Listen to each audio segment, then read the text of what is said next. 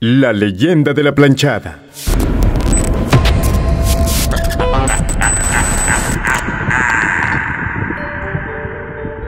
En algún momento de nuestras vidas, todos hemos pisado los pasillos de un hospital, un lugar donde se respira tristeza e incluso muerte. Sin embargo, al caer la noche, se viven historias tan perturbadoras dignas de una película de terror, como la historia de la planchada. Y esto cuenta la leyenda.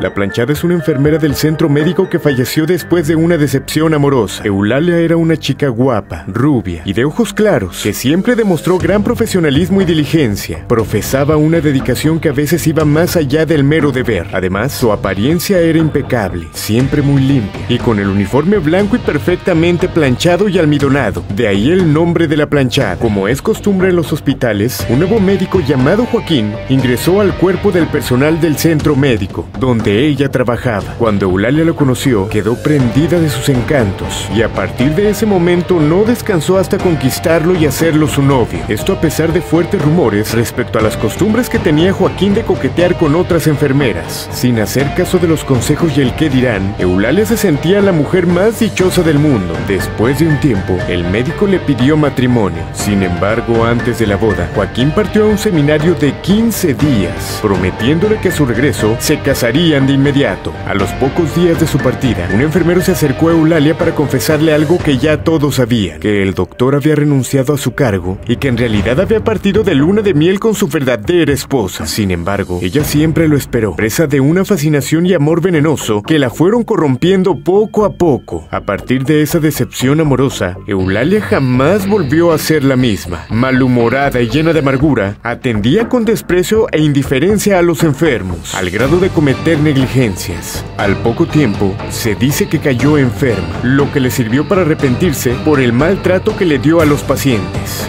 Sin embargo, ella falleció con el profundo anhelo de enmendar de alguna forma sus errores. Otra de las versiones aseguran que Eulalia se quitó la vida. Tras su muerte, surgieron cientos de testimonios de gente hospitalizada quien dijo haber sido atendida por una mujer con las características inconfundibles de Eulalia. La planchada. Personal del hospital también decía haberla visto entrar o salir de la habitación de un paciente. Algunos de ellos afirmaban que Eulalia los despertaba de sus siestas, con un leve roce de sus fantasmagóricas manos en el hombro de los infortunados. De esta manera, la leyenda de la planchada pasó a ser una de las más importantes en México. Sin embargo, esta historia de una enfermera de ultratumba que atiende a los enfermos y vaga por las habitaciones de los hospitales se repite en otros lugares del país e incluso del mundo. Pareciera que la planchada viaja a través del tiempo y el espacio. Te recomendaría estar atento a tu alrededor.